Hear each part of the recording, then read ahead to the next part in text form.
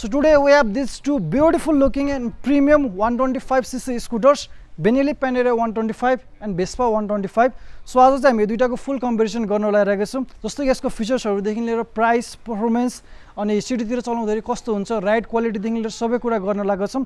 अनि at the एन्डमा यसको अब कुन चाहिँ किन्दाखेरि चाहिँ बेटर हुन्छ।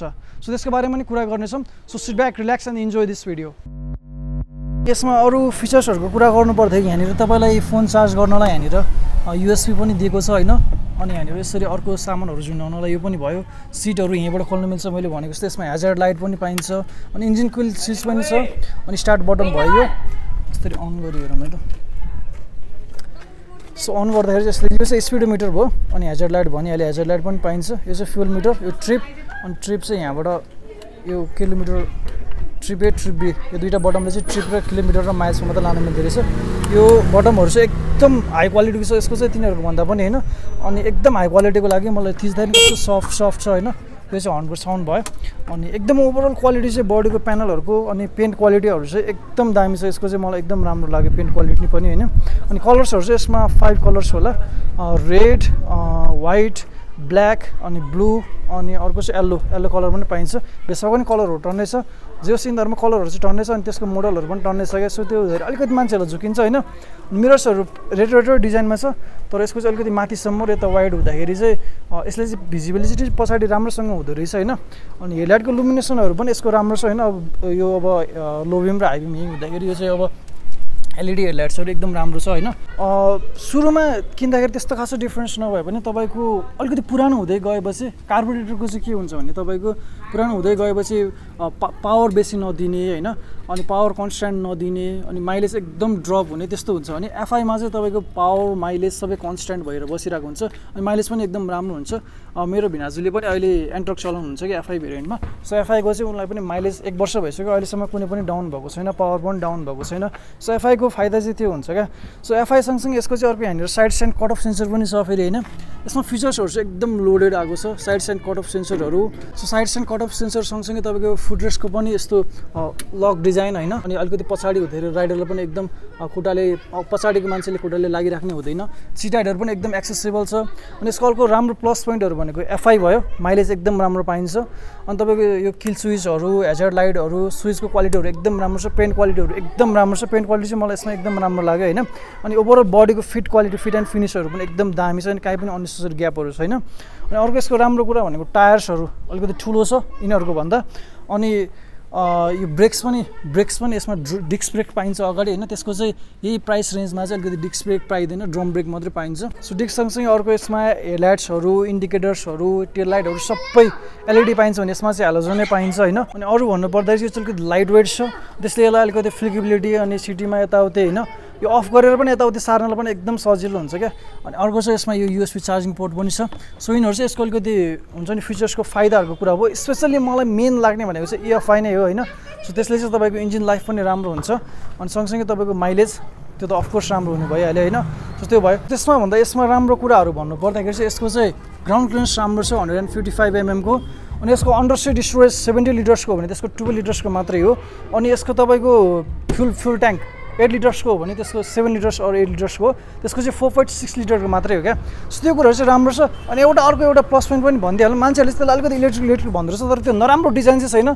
तर तपाईँलाई full retro retro looks retro अब भाइब्स रेट्रो तपाईँको यो अब हेलोजन हेडलाइट्सहरूदेखि फुल डिजाइनै हेर्ने हो भने चाहिँ रेट्रो डिजाइन मात्रै चाहिरहेको छ भने चाहिँ यो राम्रो हुन्छ होइन? बट यो चाहिँ अलिकति जहाँ पनि देखिरहेको हुन्छ अनि यसले चाहिँ अलिकति एक्सक्लुजिभ क्लब चाहिँ छिराउँछ अनि सँगसँगै तपाईँको बेलेनीको क्वालिटी अघि नै मैले भने इएफआई अनि ब्रेक्स टायर्स अनि हेडलाइटहरूदेखि लिएर सुज गियर क्वालिटीहरू साइड स्ट्यान्ड सेन्सर फुटरेस्टहरू अनि यो धेरै यसको मोडर्न फिचर्सहरू चाहिँ धेरै छ कि? यसमा चाहिँ तपाईँलाई अब क्लासिक लुक्समा मोडर्न फिचर्स चाहिन्छ भने चाहिँ this is the for it त्यसमा चाहिँ अलिकति राइड गरेर मतलब बन्दैन होइन किनकि त्यसको अलिकति कन्डिसन पनि राम्रो छैन अनि plus you guys can see होइन। सो म यसकै राइड गरेर म तपाईँलाई यसकै अलिकति हुन्छ नि इम्प्रेसनहरू चाहिँ दिन्छु।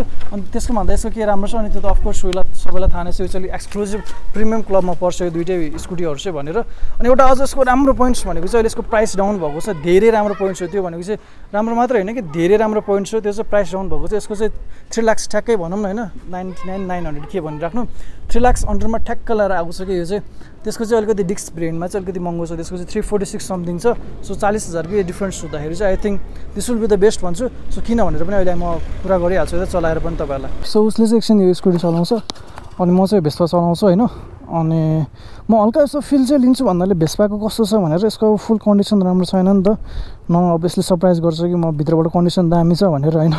बट यो पनि अलिकति हुन्छ नि प्रिमियम सेगमेन्टकै स्कुटी हो। हेर्दाखेरि मान्छेहरूले यो चढाएर हेर्दाखेरि एकदम राम्रो लाग्छ क्या होइन। अनि त्यसको र यिनीहरूको चाहिँ अलिकति हुन्छ नि स्ट्यान्डआउट यो चाहिँ अलिकति सिट हाइट चाहिँ बेसी रहेछ है त्यसको भन्दा। त्यो चाहिँ मैले नोटिस गरिहालेँ। अनि के हो यो? यो साइलाइट हो। के कुन चाहिँ हो साइलाइट कुन चाहिँ यो ए यहाँ रहेछ धेरै भाइब्रेसन छ क्या त्यसको भन्दा त्यो पुरानो मोडल पनि हो तैपनि ए यहाँनिर तलनिर यस्तो रहेछ नि त यसको यो यस्तो हो कि नयाँमा पनि के हो यहाँनिर हुन्छ नि फ्ल्याट छैन रहेछ त्यसको चाहिँ फ्ल्याट छ पर्फर्मेन्सहरू त यिनीहरू त्यस्तो धेरै पर्फर्मेन्सको लागि भनेर चिनिँदै चिनिँदैन होइन यसमा खासै त्यस्तो ओभर त्यसको त्यसको भन्दा ओभर त्यस्तो ग्राउन्ड छैन। अनि यसमा त्यसमा भन्दा मैले फाइदा देखेको भनेको चाहिँ इन्जिनमा खासै त्यस्तो फाइदा छैन होइन? लाइक त्यो अब वान ट्वेन्टी फाइभ सिसीको यसमा खासै त्यस्तो पर्फर्मेन्स ओभर छैन होइन? यिनीहरू भनेको प्रिमियम स्कुटीहरू हो सलल्ल लाएर गुड्ने सिटीको लागि हो होइन? सो ओके सिटीको लागि गुडाउनुको लागि चाहिँ त्यो पनि एकदम ठिक छ। बट अलिकति डबल लोड राखेर हिँड्नुहुन्छ भने चाहिँ स्पिड बम्सतिर अलिकति प्रब्लम हुन खोज्दो रहेछ होइन? अनलेस अन यसमा चाहिँ अलिकति त्यस्तो हुँदैन। अनि यसको अर्को बेनिफिट भनेको चाहिँ अब अलिकति अन्डर स्टोरेज सिट चाहिँ त्यति धेरै अलिकति बेसी छ। यसको मैले अलिकति मेन बेनिफिट देखेको चाहिँ अन्डर सिट स्टोरेज र ग्राउन्ड क्लियरेन्स अलिकति राम्रो छ। अरू चाहिँ सबै त्यसकै राम्रो छ। डिजाइनको चाहिँ सब्जेक्टको कुरा हो आफ्नो होइन? अब मलाई चाहिँ दुइटै राम्रै लाग्छ होइन? डिजाइनमा चाहिँ म कुनै पनि चुज गर्दिनँ। यहीँनिर यहीँनिर यहीँनिर।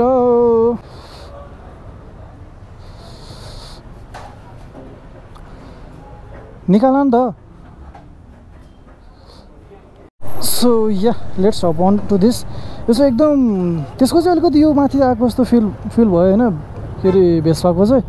अनि यो चाहिँ एकदम कम्प्याक्ट फिल भयो फेरि त्यसबाट यसमा आउँदाखेरि चाहिँ अनि यसको वेट पनि त्यसको वेट पनि फिल भयो। यसको चाहिँ अलिकति वेट लाइट वेट लेडिजहरूको लागि चाहिँ एकदम स्पेसली लाइट वेट स्कुटी चाहिँ एकदम राम्रो हुन्छ होइन धान्नलाई। अनि स्मुथ चाहिँ एकदम स्मुथ छ है एफआई भएर एकदम स्मुथ छ।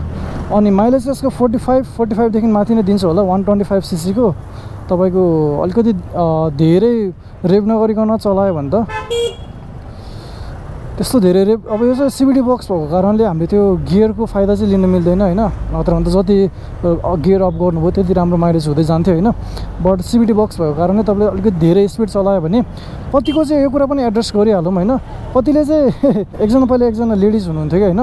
मैले चिनेको। अनि स्कुटी चलाइराख्नुहुन्थ्यो अब जे भयो नि एकदम क्लोज भनौँ न होइन? जे भयो नि तपाईँहरू बुझ्नु न। अनि उहाँहरूले चाहिँ के सोच्नुहुन्थ्यो भने लाइक अब जति धेरै कुदायो जति धेरै के गऱ्यो त्यति धेरै पेट्रोल के अरे राम्रो दिन्छ भनेर सोचिराख्नु भएको रहेछ क्या। अनि त्यो चाहिँ कतिसम्म चाहिँ ट्रु हो भने तपाईँको थर्टी फोर्टीसम्मको फोर्टीको रेन्जसम्म चाहिँ ट्रु हो। फोर्टी फाइभ स्पिडसम्म चाहिँ होइन। त्यस पछाडि तपाईँले माथि झन् धेरै स्पिड चलाउनुहुन्छ भने चाहिँ झन् धेरै छिटो झन् धेरै डाउन डाउन चाहिँ हुन्छ क्या माइलेज होइन। सो त्यो ट्रु चाहिँ होइन। सो अलिकति धेरै तपाईँले स्पिड कुदाएर अलिकति के गर्नुहुन्छ भने त्यसबाट राम्रो माइलेज आउँदैन है। सो एकदम माइलेज तपाईँलाई धेरै चाहिन्छ भने चाहिँ तपाईँहरू आरामले होइन स्मुथली चलाउनु होला अनि राम्रो माइलेज आउँछ। अनि त्यसरी चलाउनु भयो भने चाहिँ यसको चाहिँ फोर्टी फाइभ प्लस दिन्छ होला आई गेस सिटीतिर चाहिँ फोर्टी प्लस चाहिँ इजिली हो। अनि भेस्पाहरूको चाहिँ अब सुरुतिर थर्टी थर्टी फाइभ दिए पनि मैले पर्सनली पनि देखेको छु कि त्यो अप्रिला भेस्पाहरूको चाहिँ मेरो त्यो भाइहरूको छ होइन।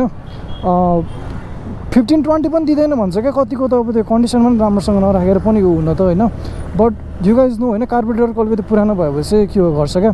सो मेरो लागि चाहिँ पर्सनली चाहिँ एकदम राम्रो कुरा भनेको चाहिँ यो चाहिँ एफआईमा छ होइन। सो एफआई हुँदाखेरि चाहिँ यो गाइज अलरेडी नो मैले पनि सिएक्स र सिएफमा पनि सिएक्स चाहिँ तपाईँहरूलाई रेकमेन्ड गर्छु नि एफआईको कारणले। अनि डिस्क पनि छ। सो तपाईँहरू अलिकति सिटी राइडको लागि मात्रै अलिकति प्रिमियम स्कुटी खोजिराख्नु भएको छ। त्यो पनि अहिले अब प्रिमियम भन्दाले प्रिमियम चार्ज चाहिँ गरेको छैन प्राइस डाउन भएको छ होइन। अरू नर्मल स्कुटीहरूकै प्राइसमा आएको छ क्या थ्री लाक्समा आएको छ। यसको कम्पिटिटर भनेको four three lakh three lakh forty six थाउजन्डमा मात्रै छ क्या। अनि त्यो भेस्पाकै नटेहरू छ तर त्यसको पुरै ड्रम ब्रेक्समा मात्रै आउँछ। सो या प्राइस पनि अलिकति ठिक्कको रेन्जमा खोजिराख्नु भएको छ प्रिमियम एक्सपिरियन्समा। अनि बेनेलीको फेरि क्वालिटी यस्तो राम्रो हुन्छ इन्जिनहरूको पनि यु गाइज अलरेडी नो होइन? बेनेलीको इन्जिनको पार्ट्सहरूको क्वालिटी राम्रो छ। अहिले चाहिँ अनि बेनेलीले के पनि गरेको रहेछ भने तपाईँको फोर्टी एट आवर्समा फोर्टी एट आवर्समै तपाईँको पार्ट्सहरू चाहिँ उपलब्ध गराउने जुन पार्ट्स भए पनि भनेर पोस्टै गर्नुभएको छ। सो पार्ट्सतिर पनि यो आएको पनि धेरै भइसक्यो। कुनै पनि त्यस्तो प्रब्लम पनि सुनेको छैन मैले होइन? वान इयर भइसक्यो। सो यसको र भेस्पाको बारेमा भन्नुपर्दाखेरि चाहिँ यसमा अब धेरै फिचर्सहरू छ। एलइडी हेडलाइट्स युएसबी चार्जिङ होइन? अनि यस्तो फुटरेस्टहरू पनि राम्रो छ पछाडिको लागि। अनि डिस्क ब्रेकहरू टायरहरू पनि ठुलो छ भेस्पाको भन्दा। इन्जिन कट अफ स्विच पनि छ। स्विच गेट क्वालिटीहरू पनि एकदम राम्रो छ पेन्ट क्वालिटीहरू बडीको फिनिसहरू होइन? अनि फिट एन्ड फिनिस फिटिङमा कुनै पनि प्रब्लम छैन। बाइक पुरै एउटा ढक्क भएर बस्छ अनि काहीँ पनि त्यस्तोमा ब्याड रोडतिर लाँदाखेरि पनि काहीँ पनि त्यस्तो अननेसेसरी साउन्डहरू पनि आउँदैन होइन? एकदम स्टडी फिल हुन्छ। थोरै राइड चाहिँ दुइटाको मलाई अलिकति स्टिफ स्टिफ लाग्यो होइन? दुइटाको त्यस्तो प्लस राइड चाहिँ छैन। यिनीहरू चाहिँ अलिकति त्यो प्रिमियम एक्सपिरियन्स दिने प्रिमियम हुन्छ नि लुकिङ अनि लुक्सको लागि पनि हो क्या यिनीहरू चाहिँ एकदम अलिकति हुन्छ नि सान लिएर सान सान पनि लाग्छ मान्छेहरूले यो लिएर हिँड्दाखेरि। मलाई पनि कुनै पनि त्यस्तो यो स्कुटी लिएर हिँड्दाखेरि चाहिँ कुनै पनि त्यस्तो नराम्रो चाहिँ फिल भइरहेको छैन होइन? जस अलिकति यो समरतिर होइन भाइब्रेन्ट कलर्सहरूको सायद तपाईँहरू अलिकति एक्सपिरियन्स प्रिमियम एक्सपिरियन्सको स्कुटीहरू चाहिन्छ भने चाहिँ this is the scooty for you होइन? राम्रो अलिकति राम्रो स्पेसल्ली मेन भनेपछि राम्रो माइलेज अनि पछिसम्म कन्सटेन्ट माइलेज अनि स्मुथ इन्जिन भएको खोजिराख्नु भएको छ भने this is the scooty for you अनि भेस्पाको कुरामा चाहिँ तपाईँलाई अलिकति धेरै नै अलिकति बाहिरतिर जानुहुन्छ अनि अफरोडतिर होइन? अन्डर सिट स्टोरेज अलिकति धेरै चाहिरहेको छ बट तपाईँले माइलेजतिर कम्प्रोमाइज गर्न सक्नुहुन्छ होइन? अनि रिलायबिलिटी अलिकति रिलायबिलिटीमा कम् कम्प्रोमाइज गर्न सक्नुहुन्छ भने गाइज बेनेलीको रिलायबिलिटी एकदम राम्रो हुन्छ।